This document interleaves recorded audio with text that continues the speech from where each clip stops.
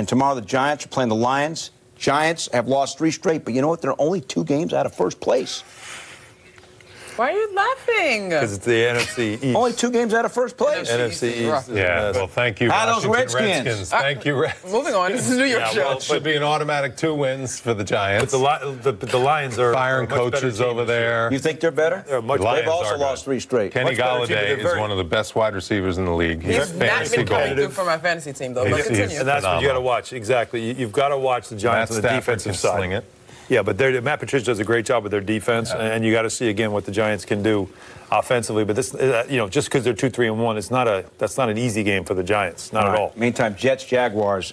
Interesting story here for the Jets. Their lineman here, offensive lineman, Kelechi Osemele. Mm-hmm. Well done. I got. I've been practicing Nailed that it. all night long. Nailed it. Uh, had sh- shoulder surgery against the team's wishes, and they cut him. He's got a torn labrum. wall. you're the ex-pro. They wanted him to play through that torn labrum. He said, "No, I'm getting surgery," and they cut him. Now, to be clear, they thought it was a pre-existing injury that he had been playing with anyway. But the matters. fact he is should have been able to finish the season and then get the surgery. That's the story, anyway. That's being told by reporters. Is that that's what the Jets were feeling? That they they actually have been happy with the way he's been playing anyway.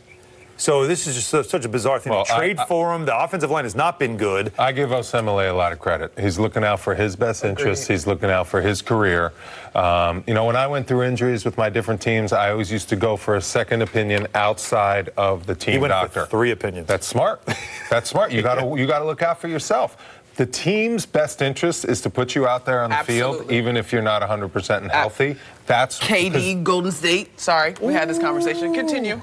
Go ahead. That's you you need to look out for your best interest, especially in football, because in football, if you have, if you go out there, you play hurt, say you, you know, have a career-ending injury, get money's not guaranteed. So you got to make sure you get yourself right for your future career and your future years to come. So How does this look for the interesting Jets now going forward? Like, think about this: is they were finding him almost what five hundred eighty thousand dollars. They cut him. Yeah, he was. They but cut him now. that, no, they, were finding him. Now they cut him, and they have this fight. He's still trying to get his money that he's owed this There's year, about nine grievances. million. Yep. Well, how does this look now if you're a free agent or another player that wants, you know, that the Jets want to sign you?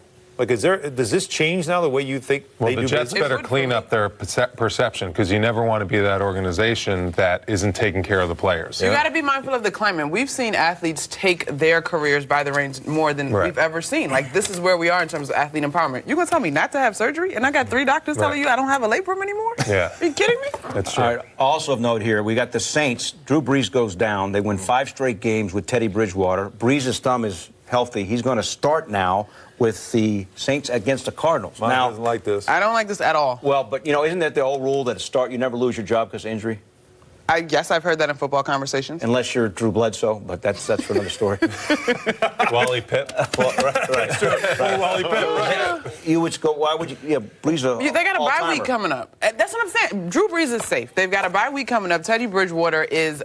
They're winning. They're winning, and I don't feel Now, like some Drew people- Brees needs to be concerned about his job in the big picture. I agree No, agree he's with not that. concerned about his job, but in the end, who's going to take you to where they ultimately want to get to? That's the Super Bowl. Give right, Give the kid another week. You So got a bye week coming up. Bridgewater Come one more week and then and then Yeah, Drew's back I'm waiting till the bye Brees. week. Some will say that they were winning despite Teddy Bridgewater. Yes. Because his numbers haven't been great. Right. Now, I'm, I'm the biggest Teddy Bridgewater fan there is, all the way back to when he played in college. Came I back wanted from him to a be a terrible Jet. knee Terrible injury. injury. Yeah, I Come back. He's a great story, a great Brutal. kid.